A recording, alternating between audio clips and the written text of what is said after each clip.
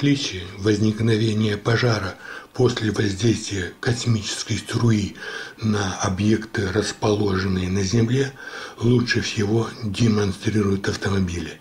Во-первых, все автомобили, попавшие под действие космической струи, мгновенно лишаются всех стекол где бы они ни находились, в дверях салона автомобиля, в качестве передних фар или габаритных сигнальных лампочек. В огне обыкновенного пожара такого не происходит. Стекло растрескивается, размягчается, но не исчезает, то есть не расплавляется до полного испарения. В итоге на месте пожара остаются бесформенные слитки, капли или крохотные шарики. Да и то только в том случае, где стекло попадает в самое пекло пожара. А таких мест, например, при лесном пожаре с точки зрения пространственного объема немного. Так что на периферии действия огня можно отыскать капли расплавленного стекла. Испарение стекол связано с тем, что они практически целиком состоят из оксида кремния, из которого почти наполовину состоит базальт и ряд его производных – гранит, глина, известняк, песчаник, просто песок и так далее. Они образуют при переходе эфира в вещество если речь идет о пространстве вблизи Солнца. Это планеты Меркурий, Венера, Земля, Луна, Марс, оба его спутника и, возможно, какое-то количество астероидов. Во-вторых, у всех автомобилей, попавших под действие космической струи, алюминиевые диски, колес и других деталей содержащих алюминий, мгновенно начинает течь. Не испаряется, но расплавляется до жидкого агрегатного состояния. Это также связано со вторым по объему компонентом базальтовых соединений – оксидом алюминия. В глине, например, он стоит на втором месте после оксида кремния. Оксиды других химических элементов представлены заметно меньше. Третьим характерным признаком для действия космической струи является появление черноты у стволов, ветвей и плодов деревьев. Из-за скоротечности процесса извержения космической струи мгновенно спихивает только корона деревьев. При этом полностью сгорают тонкие ветви, зеленая листва и хвоя продолжают работать и на этой улице. Огонь здесь также почти ничего не оставил. Вот корпус сгоревшего автомобиля, дерево, на котором еще до сих пор горячие сгоревшие фрукты. Вот корпус еще одного сгоревшего автомобиля. На асфальте расплавленный алюминий от покрышки. А вот в этом доме каким-то чудом уцелели детские качели и пластиковая горка. На этих фотографиях и коротких фрагментов роликов, пришедших со всего света Калифорнии, Испании, Португалии, особенно Греции, мы видим картину полнейшего хаоса. Это связано с расчисткой проезжей части от э, нагромождения техники. В репортажах можно увидеть, как с помощью бульдозеров и подъемных кранов машины ставят в ряд с какой-нибудь одной стороны дороги. Затем сверху на этот же ряд поднимают второй ряд. Для экономии места я не показываю в этом фильме эту процедуру. Больше всего погибших в результате лесных пожаров в Греции в курортном районе Мати, где слишком поздно началась эвакуация и очень многие не успели уехать. Здесь видно, к чему может привести паника. Десятки автомобилей застряли здесь, когда люди пытались бежать. Кто-то сумел вылезти вовремя, кто-то, к несчастью, не успел. Горящие люди. Это было хуже всего. И среди них дети. Я не хотел смотреть. Мы слышали голоса со всех сторон.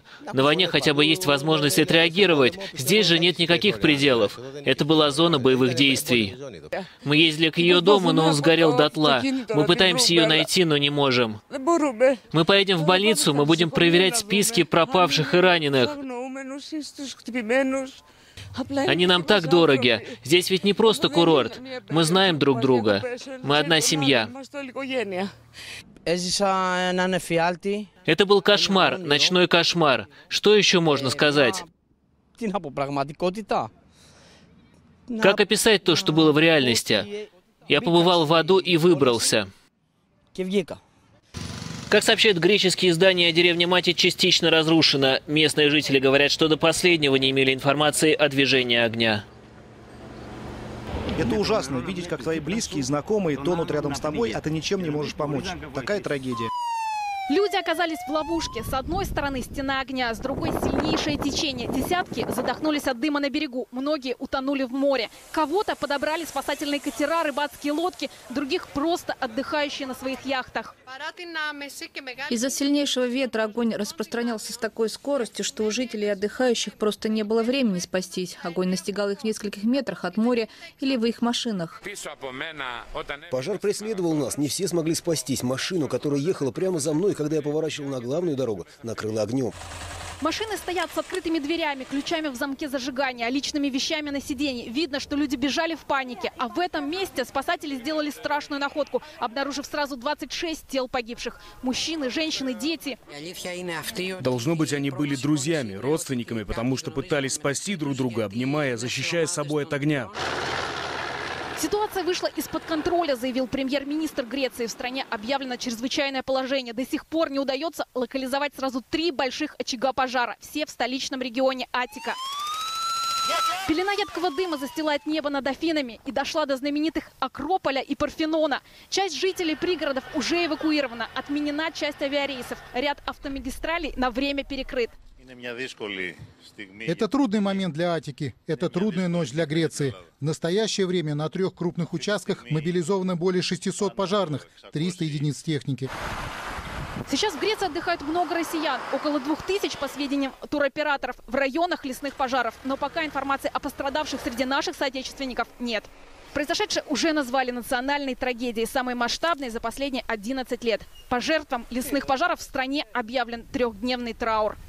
И начинаем мы с новостей, которые сейчас приходят из Португалии. Лесные пожары стали настоящей катастрофой для страны. По последним данным, погибли 58 человек. И эта цифра может еще увеличиться. Спасатели продолжают поиски тел. Местные пожарные не могут справиться с стихией и вынуждены просить помощи у соседних стран. Обо всем подробно расскажет Матвей Попов. Это крупнейший пожар по количеству человеческих жертв. Даже старожилы не припомнят, чтобы стихия уносила столько жизней. Более 50 всего за один вечер. Причем умерли они страшной смертью. Большинство погибших находились в своих машинах, ехали по лесу. А когда деревья по обе стороны от дороги превратились в огненные стены, куда-то сворачивать было поздно. Автомобили сгорели вместе с пассажирами. Местные власти отреагировали недостаточно оперативно. Все шесть трасс, ведущих в огненную ловушку, были перекрыты только после того, как по ним успели проехать десятки машин. Погибших погубил один и тот же пожар в одной и той же локации. Сейчас Департамент криминальных расследований работает над опознанием погибших. Я хотел бы выразить свои соболезнования их семьям. Сейчас остовы автомобилей исследуют спасатели, другие прочесывают ту часть леса, которую удалось потушить. Не исключено, что кто-то пытался бежать от огня и, возможно, есть еще погибшие. Данный район Португалии популярен у туристов, в том числе из России. Однако о пострадавших россиянах информации нет. В связи с чрезвычайно жаркой погодой, которая установилась в выходные в Португалии, произошел крупный лесной пожар – в округе Лаирия, район населенного пункта Пердогал-Гранде. Это центральная часть страны. Жертвами пожара, как сообщается, стали десятки человек. Посольство находится в тесном контакте с португальскими властями для выяснения, есть ли среди пострадавших российские граждане. На данный момент такой информации не имеется. На борьбу с огнем брошено уже полторы тысячи пожарных и спецтехника, однако их усилия пока не приносят плодов. Погода установилась жаркая и засушливая, так что пламя продолжает отвоевывать у людей новые территории. Португалия уже запросила помощи у руководства Евросоюза. Поддержку ей обещали Испания, Германия и Франция. Матвей Попов, Вести. На юге Калифорнии свыше 180 тысяч людей эвакуируют из-за лесных пожаров. Большинство из них проживает в Лос-Анджелесе, однако наиболее сложная ситуация сложилась в округе Вентура. Стихия уже уничтожила в американском штате по меньшей мере 150 строений. Более трех тысяч находятся под угрозой. Еще свыше 250 тысяч жителей региона остались без электроснабжения. В округе Вентура объявлен режим чрезвычайной ситуации. В настоящее время горит более 20 тысяч гектаров. Сильный катабатический ветер Санта-Ана подлил масло в огонь. Специалисты Национальной метеорологической службы в Лос-Анджелесе сообщили, что в регионе сейчас самый разгар этого ветра в текущем году. В округах Вентура и Лос-Анджелес, где его скорость в порывах может достигать 130 км в час, был объявлен красный уровень опасности. В октябре 2017 года Калифорния также пострадала от лесных пожаров. Тогда в огне погибли по меньшей мере 40 человек. Еще около 900 пропали без вести. Эти пожары стали самыми смертоносными в истории Калифорнии. Огонь уничтожил 3,5 тысячи домов. Число погибших в результате лесных пожаров в Греции возросло до 79 человек. Среди них много детей. Еще несколько сотен пострадали, об этом сообщает агентство Рейтер. В связи с массовой гибелью людей в самой, в самой стране Евросоюзе объявлен траур. С последней информацией Роман Гальперин. Посмотрите на это, посмотрите на здания, посмотрите на деревья. Вы не можете себе представить никаких слов. Трагедия в Мате привела в ужас весь мир. Всего за несколько часов популярное курортное местечко превратилось в пепелище. Сотни домов и автомобилей сожжены. Местные жители и туристы признаются, их просто не предупредили о надвигающейся катастрофе. Все искали способ убежать от огня, а затем огонь остановил их здесь. Люди не знали, куда бежать. Пожар начался с этой стороны. Мы увидели, это около 6-6.30. Сразу же начали собирать наши вещи и складывать их в машину. Дагала с семьей, как и многие другие, пытались спастись от стихии на машине, но огонь не позволил проехать. Отец схватил трехлетнего сына и побежал к морю. Я бежал и не поворачивал голову. Я бежал к морю. Я знал, как туда пройти, потому что в последний день мы купались на пляже. Во время паники Дагалас потерял жену и теперь молит Бога, чтобы она осталась жива. Но очевидцы уверяют, у тех, кто замешкался в тот момент, не было шансов. Когда пришел огонь, те, кто были в машинах, они сгорели мгновенно. Вчера я прошелся и насчитал более 30 мертвых тел. Быстро распространиться огню помогала 40-градусная жара и сильный ветер. Спасаясь от пожара, люди бежали к морю. Там им помогали работники береговой охраны Греции. Почти 700 человек спасли, но многим так и не удалось выбраться. На этом морском утесе нашли тела 26 человек, которые обнимали друг друга. Взрослые дети пытались прорваться к берегу безуспешно. Многие из них решили попытаться добраться до моря, но они не знали, что там обрыв, поэтому попали в ловушку. Огонь окружил их, у людей не было выхода. Туристический сезон в Греции, если не сорван, то точно испорчен. Тысячи отдыхающих пакуют чемоданы. Эта семья из Финляндии собирается переждать стихию в Афинах, но глава семейства сомневается, что ситуация наладится. Мы бежали вдоль пляжа, а затем нас окружило пламя. Мы вошли в воду, пришлось даже нырять, чтобы не обгореть. Потом мы несколько часов ждали, пока нас не спасли. Потом мы вернулись в отель за вещами. Поисково-спасательные операции идут без остановки. Местные власти уверяют, что держат ситуацию под контролем, но времени у них все меньше. Температура воздуха в ближайшие дни вновь поднимется. Огонь может вспыхнуть с новой силой. Роман Гальперин, Мир, 24. Президенты Беларуси и Молдовы Александр Лукашенко и Игорь Дадон выразили соболезнования своему греческому коллеге в связи с массовой гибелью людей. Об этом сообщают РИА Новости.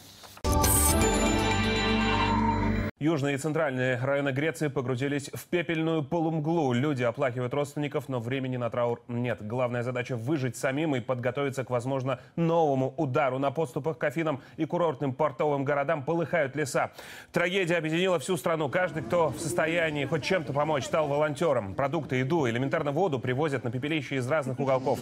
Все замерли в ожидании гуманитарной катастрофы. Репортаж нашего специального корреспондента Виталия Ханина Димитрос осматривает останки своего дома. Огонь был настолько сильным, что плавились пластиковые окна. Внутрь зайти не рискует на комнаты, в которых жил почти 30 лет, смотрит через окно.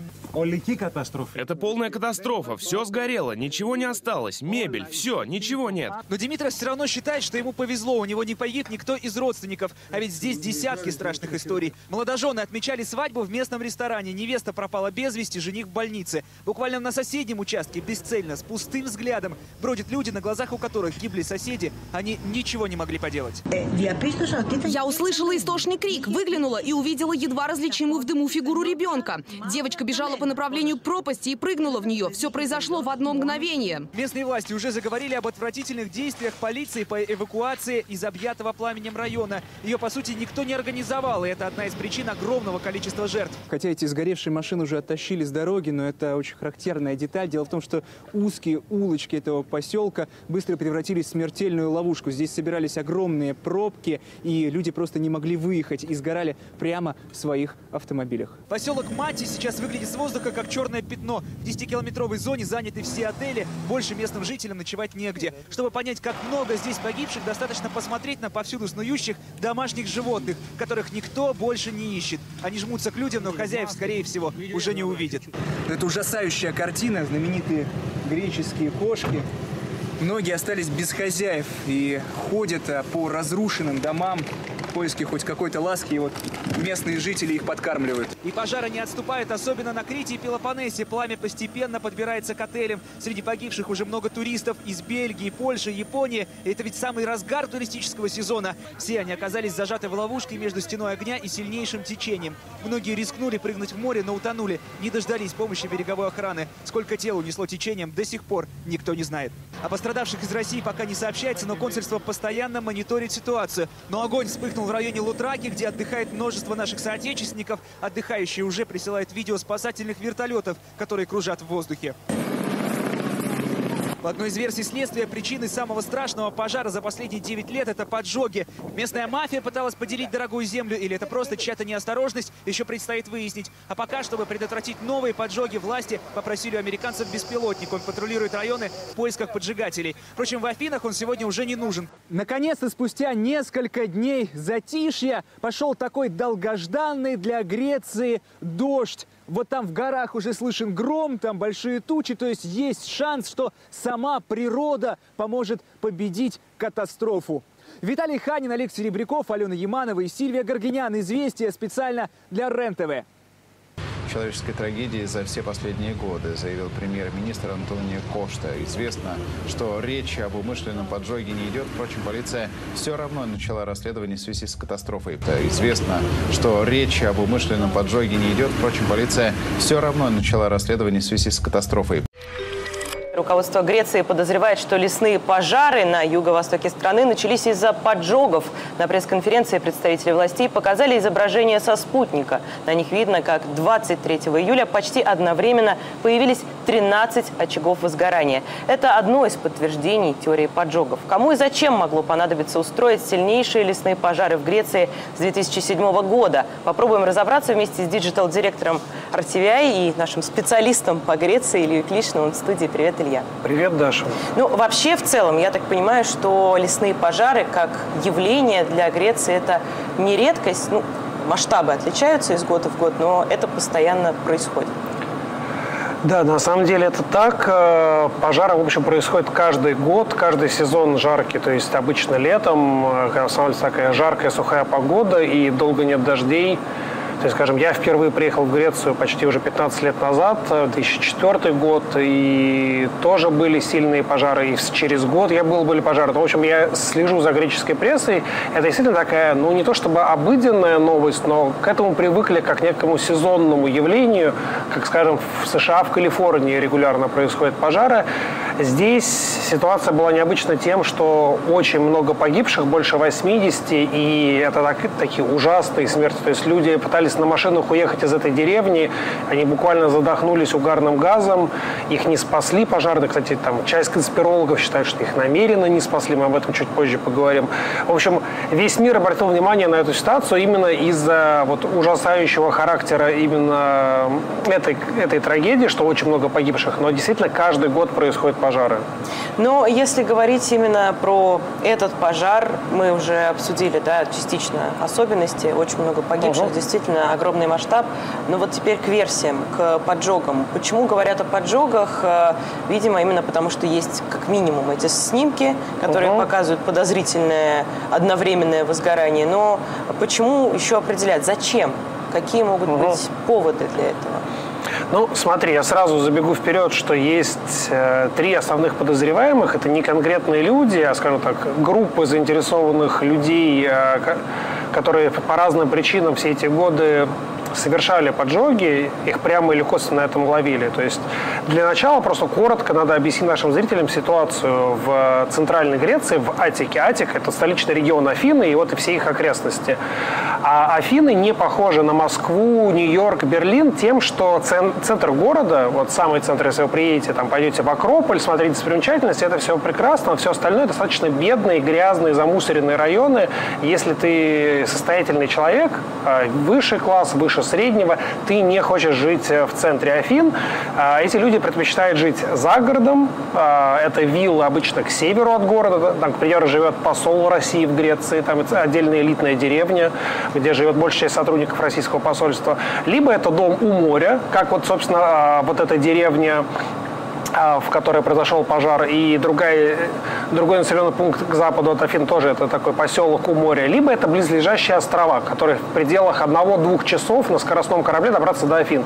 То есть, собственно, структура элитной недвижимости плюс хороших отелей, это именно вынесено за пределы Афин, вот в пределах нескольких часов на машине или на корабле. И тут две проблемы. С одной стороны, эту недвижимость хотят строить, а, например, территория занята природоохранными зонами, заповедниками, еще чем-то. И греческая пресса много лет спекулирует, что вот целенаправленно поджигают леса или сжигают какие-то утлые дома, которые не хотят продавать эти участки под строительство, скажем, отеля или чьей-то виллы. Но эта ситуация более-менее знакома, скажем, а, тем, кто следит за похожими историями в России. В ну, России, в России вот, такое Давай происходит. просто так тезисно. Это одна версия. Это одна версия, это, это девелоперы. Выгодно застройщикам. Да. Это выгодно застройщикам, кто, допустим, там был заповедник, лес, природоохранная зона, или просто какие-то несговорчивые люди не продавали свои участки. Но, скорее всего, вот это, эта история, которая случилась э, в той самой деревне в 40 километрах к востоку от Афин, она другая. И вот в частности, я почитал корреспондент газеты «Нью-Йорк Таймс», говорил с местными жителями. А, там уже живут, а, скажем, богатые люди в своих виллах, но очень много так называемых самостроев. И особенно за последние лет 10-15 они распространились, их было так много, власти не успевали их сносить, с ними бороться, что в 2016 году греческий парламент принял закон об амнистии. Ну, де-факто амнистии, они разрешили заплатить небольшой штраф, какой-то смешной, и, по сути, легализоваться. А, то, то есть богатые богатым это не нравится. Ну, то есть, а, вот, то есть ты, ты купил, условно говоря, за, там, не знаю, 10 миллионов евро какую-то виллу на этом берегу моря, а вокруг построили какие, э, рандомно эти маленькие домики, они портят, там создаются пробки, еще что-то, и власти на это закрыли глаза. И вот по той версии, которая сейчас а, спекулируют э, в греческой прессе, о чем пишет, собственно, корреспондент Нью-Йорк Таймс, поговорив с местными жителями, что подозревают именно ну, прямо или косвенно вот эти богачи, что они хотели проредить ареал вокруг своих домов. То есть угу. фактически просто из-за власти ну, снести ну, этот это самострой. Понятно. Это, получается, вторая это версия. Вторая версия, борьба с самостроем. Третья версия, она все эти годы непонятно имеет ли отношение к, к этой истории, это пастухи. Э, греческие пастухи, э, очень мало пастбищ для овец, там такая местность пересеченная, холмы, горы, леса, опять же, те же самые природоохранные зоны, и много раз ловили пастухов за тем, что они поджигают леса для выпаса своего скота. Но я думаю, что вряд ли все-таки здесь это вот та история, потому что в 13 местах одновременно поджечь лес, вряд ли это была какая-то мафия пастухов, но э, они тоже прям часто это делают. Но и они вот, тоже в общем и да, целом ну, под подозрением, получается. По, по статистике за последние 30 лет, а, ну чуть меньше, с 91 года, лишь 2,5% пожаров происходили по естественным причинам в Греции. И 65% э, пожаров с неустановленными до сих пор причинами. То есть, скорее всего, это были поджоги. То есть, это а, поразительная статистика. Больше трети лесов в Атике с 91 года уничтожены вот по этим разным причинам. И это продолжается каждый год. И просто как бы непонятно, смогут ли вообще греческие власти... Ну, вот эта трагедия, просто вот уже как-то завершая наш разговор, она шокировала греческое общество. Может быть, она как-то сейчас встряхнет, потому что там и оппозиция в парламенте, и все газеты об этом пишут. То есть ну, да, об, об, обычно, обычно, не, нах... конца, обычно да. не находят. То есть все говорят, все знают, что это там девелоперы, вот эти вот какая-то мафия строительная и так далее. Не находили, то есть не доводили до конца эти расследования. Возможно, здесь под каким-то прессингом общественного мнения все-таки все-таки найдут истину и установят виновных. Ну, мы проследим за этим, конечно же, обязательно. Спасибо большое, Илья. Digital-директор RTVI Илья Клишин был сейчас в студии. С ним обсуждали, кто может стоять за разрушительными пожарами в Греции, из-за которых погибло, я напомню, больше 80 человек. Известно, что речь об умышленном поджоге не идет. Впрочем, полиция все равно начала расследование в связи с катастрофой. Известно, что речь об умышленном поджоге не идет. Впрочем, полиция все равно начала расследование в связи с катастрофой. Э, всем здравия, с вами Видогор. И это видео я делаю потому, что мне прислали ссылки под видео, под моим прошлым. Вот, обратите внимание, да, использование лазерного оружия в Америке, в США, в Калифорнии. Вот, видите? Тут повтор человек делает, просто ему удалось это снять.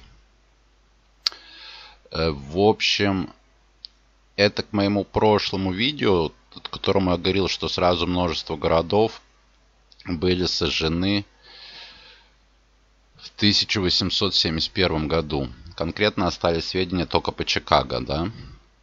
И сейчас, оказывается, я просто не знал, пропустил это, да, вот смотрите на экране, что происходит. Дома выжигают лазерным оружием. Э, ну, это повтор вот этой съемки просто.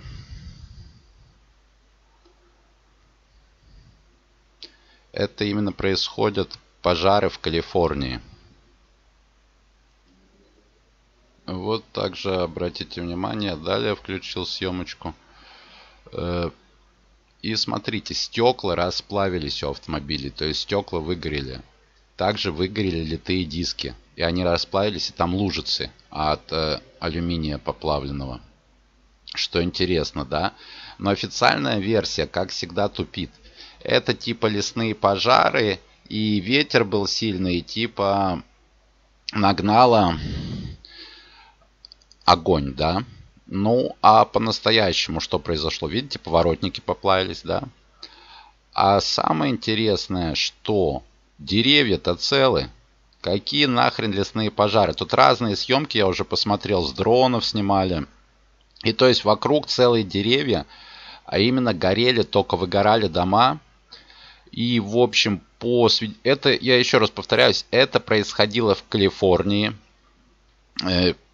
Ну, там в одних видео написано, это было 7, 8, 9, 10 октября, в других 7 декабря. Ну, то есть без разницы, какая разница. Но имеется в виду, вот сейчас 2000... Ну, поздно я уже снимаю, да, я просто раньше не знал об этой новости. Имеется в виду 2017 год.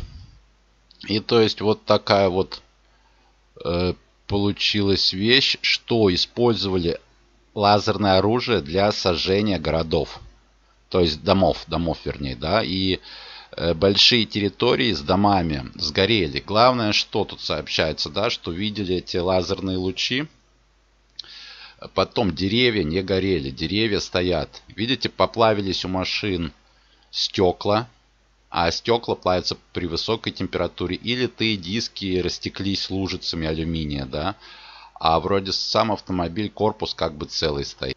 Э, в общем, хорошо, что сейчас такое время, что уже у людей есть дроны, которые могут снимать с воздуха. И вот люди используют дроны, чтобы снять вот это после пожара. Я говорю, в этом году то есть было использовано лазерное оружие, обстрел по домам Калифорнии, типа 1500 домов сожгли. Вот там я видел, показывали. И видите, это с дрона снимают, что леса целые. И главное, одно видео, просто мне сейчас не найти этих видео, очень много в интернете. Видите, деревья целые, вот кругом, деревья целые. То есть это никакой не лес горел, а это именно показаны, там были съемки, я просто все сейчас не найду. Я тут пересмотрел уже кучку. Это как продолжение, как бы я снимаю к моему предыдущему видео для сомневающихся, да. Что даже вот прислали, что сейчас даже есть такое оружие. Вот, в 2017 году стали выжигать. Видимо, кому-то не нравились жители вот этого района. Э, так вот, видите, деревья целые. Обратите внимание, деревья не пострадали, а именно вот, смотрите, видите, деревья стоят, а дома выжжены. Ну, машины сгорели только, которые возле домов стояли. Именно точечными ударами хренячили чисто по домам. То есть с лазерного оружия точными прицелами именно выжигали дома. Видите, выжигали целые районы. И главное говорят, что в домах сгорели все. И унитазы, и ванны, полностью все. Дом, дома загорались изнутри. И даже было там показана съемка, только я сейчас не найду уже где, где одно дерево, ну толстенькое такое дерево, и оно горело внутри. То есть снаружи не горело, а внутри горело. Это вообще феномен. То есть некоторые говорят, я тут слушал, что использование лазерного оружия, некоторые говорят, что использование микроволнового оружия. Ну, в общем, вот такая вот офигеть. Известно, что речь об умышленном поджоге не идет. Впрочем, полиция все равно начала расследование в связи с катастрофой. Известно, что речь об умышленном поджоге не идет. Впрочем, полиция все равно начала расследование в связи с катастрофой. Вулканы у берега Калифорнии начали извержение, о котором не сообщается. Белый дом ждет грандиозную катастрофу. Разрушительный пожар в Южной Калифорнии захватывает все большие территории, сегодня по площади он превосходит огромный мегаполис Нью-Йорк. Пожар, которому уже дали имя Томас, уже считается пятым по силе пожаром за всю историю штата. С 4 декабря огонь уничтожил сотни домов и вынудил уехать 200 тысяч человек. И это только ситуация в городах Вентура и Санта-Барбара, где пожар охватил 93 тысячи гектаров леса и ежедневно захватывает 20 тысяч гектаров. В других областях Калифорния тоже горит, хотя там возгорание более локализованы. В ночь на понедельник была объявлена эвакуация в некоторых районах Карпентерии рядом с национальным заповедником Лос-Падрес, примерно в 160 километрах северо-восточнее Лос-Анджелеса. Пожарные активно борются с необычным для этого времени года огнем и вся Америка следит за их сообщениями в Твиттере. Более продвинутая публика использует для наблюдения сетевые сервисы, где хорошо отражено нарастание концентрации угарного газа и соединений серы над регионом. Однако господин Дачзинос, создатель одноименного видеоканала, подошел к вопросу гораздо серьезней, начал тщательно анализировать данные спутниковой системы GOS Wither Satellite, к его величайшему удивлению, к западу от побережья Калифорнии с началом декабря из океана идет колоссальный выброс газа, что отлично видно на спутниковых фотографиях. Воспользовавшись сервисом Google, господин Дачзинос обнаружил, что как раз точно под местом газовых выбросов находится цепочка огромных вулканов, из которых, видимо, идет извержение. Шокированный своим открытием, господин Дачзинос даже сделал еще одно, более подробное видео. Лесные пожары – это известный, хотя и не стопроцентный признак начинающейся вулканической активности. Иногда пожары возникают сами по себе, но иногда поднимающаяся магма высушивает растения на огромной территории, почва участками сильно разогревается и достаточно искры, чтобы лес вспыхнул. Возможно ли, что под Калифорнией началось магматическое движение и лесные пожары связаны с этим? В районе кальдеры Лонг-Вилли наблюдаются постоянно, сейсмологам уже не хватает чисел, чтобы их посчитать. Землетрясения в районе разлома Сан-Андреас также в этом году еще более участились. Наконец, в сентябре в Калифорнии наблюдался так называемый сухой шторм из 40 тысяч молний, что часто бывает предвестником землетрясения. Таким образом, все физические признаки скорого большого тектонического события в Калифорнии налицо. Но к ним следует добавить еще и некоторую мистическую составляющую, поскольку подобные вещи предчувствуют некоторые люди. И сообщение о том, что в Калифорнии что-то грядет на американских форумах просто шквал. Тем не менее, USGS, геологическая служба США, про начавшееся извержение подводных вулканов молчит, по новостям об этом не говорят, а значит извержения как бы и нет. Все замечательно. Однако, кроме подводных вулканов, у побережья Калифорнии есть связанная с ними цепочка вулканов напротив побережья штата Орегон, который граничит с Калифорнией на севере. Речь идет о цепи подводных вулканов, образующих океанический хребет Хуана де Фука, являющихся границей одноименной литосферной плиты. В апреле этого года, то есть одновременно с увеличением сейсмической активности в Калифорнии, вулканы по хребту Хуана де Фука тоже начали извергаться. Появилось несколько новых донных кратеров, откуда плескала лава и шел кипяток, убивающий все вокруг ядовитыми газами. Летом этого года сейсмологи устроили в этот район экспедицию и установили массу веб-камер, позволяющих наблюдать за велотекущим извержением в реальном времени. Однако так как то совпало, что одновременно с началом пожара в Калифорнии все установленные по хребту Хуана де Фука веб-камеры перестали работать. Связано это с тем, что камеры вышли из строя или их просто выключили, никто не знает. Но это очень странно. Во-первых, страна потому, что Калифорния куда более густонаселенный район, чем Орегон, но в океане напротив берега никаких телекамер нет. Или всем говорят, что их нет, но они там есть и USGS мониторит их круглыми сутками. Во-вторых, странно и потому, что камеры на соседнем вулканическом хребте перестают работать одновременно с вулканическими выбросами в океане, прямо напротив калифорнийского побережья. Однако в-третьих, и что более всего удивительно, накануне по всей территории США наблюдалось массовое перемещение вертолетов и транспортной авиации с восточного побережья на запад, то есть в Калифорнию. Возможно, эти переброски авиации и вулканической активностью побережья как-то связаны.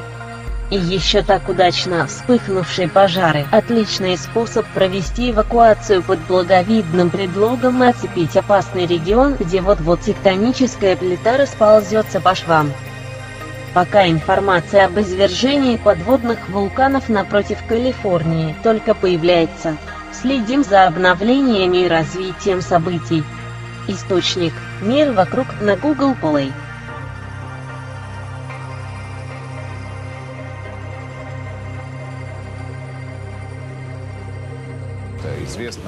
Что речи об умышленном поджоге не идет. Впрочем, полиция все равно начала расследование в связи с катастрофой. Известно, что речи об умышленном поджоге не идет. Впрочем, полиция все равно начала расследование в связи с катастрофой.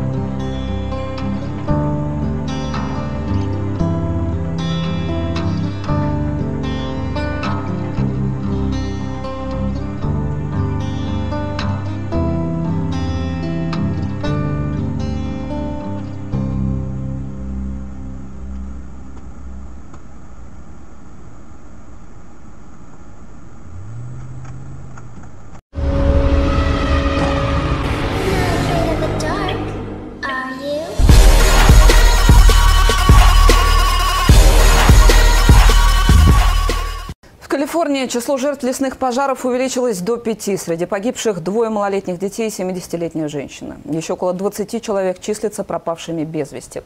Пока пожарным не удается справиться с огнем, за последние сутки площадь возгорания увеличилась еще в полтора раза. We begin with this. A deadly, out of control wildfire in Northern California suddenly exploded overnight.